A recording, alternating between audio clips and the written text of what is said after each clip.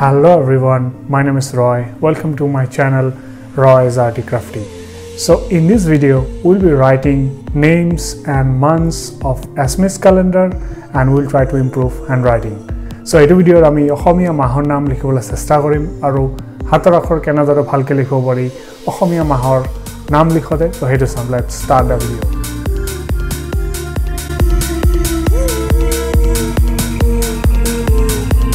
আৰু এইটো উদাহৰণত graph paper use কৰা হৈছে আৰু one point six M M কলমৰ পেন নিপ ইউজ কৰা হৈছে আৰু ভাৰ্টিকেলি লিখিবলৈ ট্ৰাই কৰা হৈছে।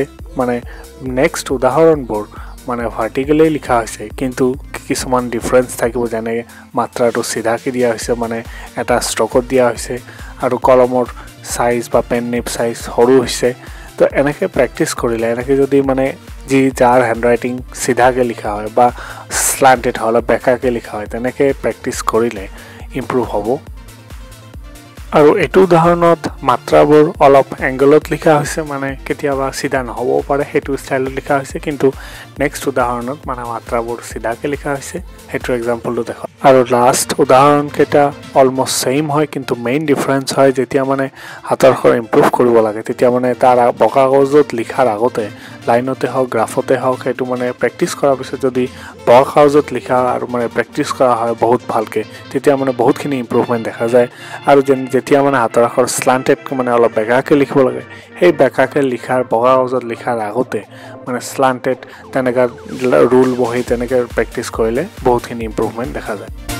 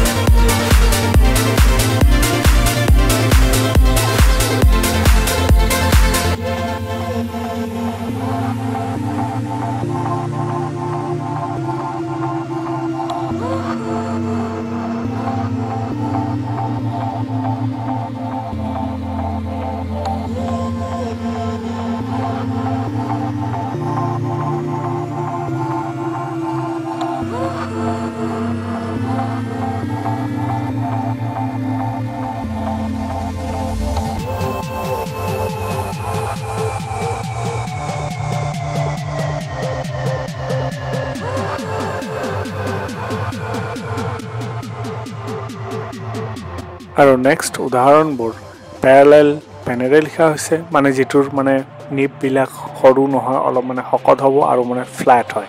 তো তেনেকৈ সেই কলমেৰে লিখিলে মানে যেতিয়া আখৰবোৰ অলপ মানে ডাঙৰকৈ লিখা হয় তেতিয়া মানে স্পষ্টকৈ লিখিব লাগে আৰু তেতিয়া এনেকৈ লিখিলে হাতৰ আখৰ ইম্প্ৰুভ হয়।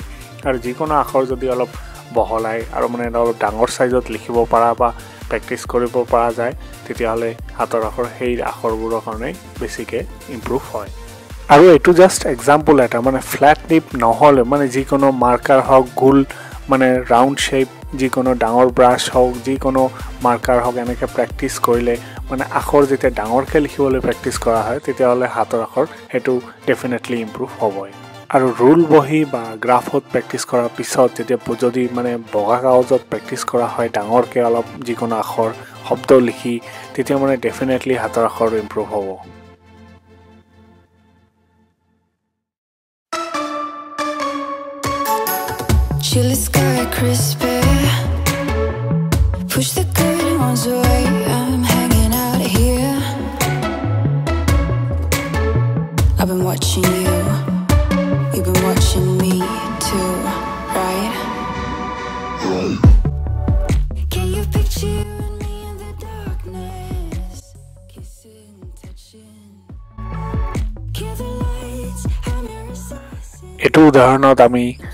অসমৰ ঋতুবিলাক কেনেকৈ লিখিব পাৰি সেইটো চাম।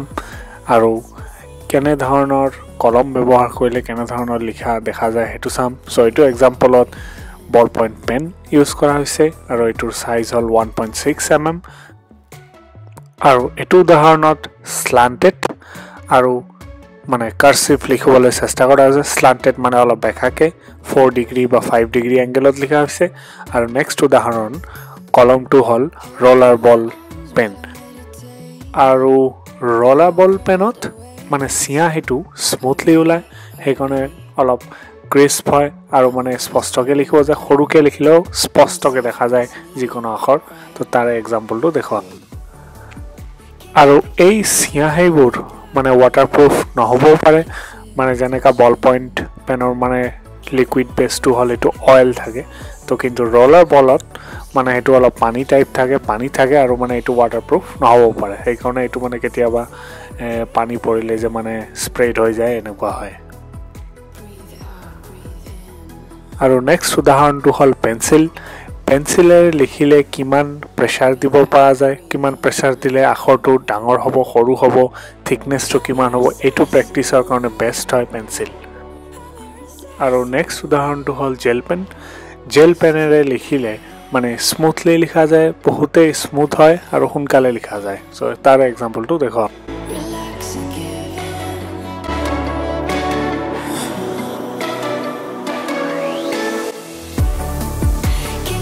আৰু যদি ভিডিঅ'টো ভাল লাগে প্লিজ লাইক এণ্ড শ্বেয়াৰ কৰি দিব এণ্ড ছাবস্ক্ৰাইব কৰিব নাপাহৰিব। Thank you very much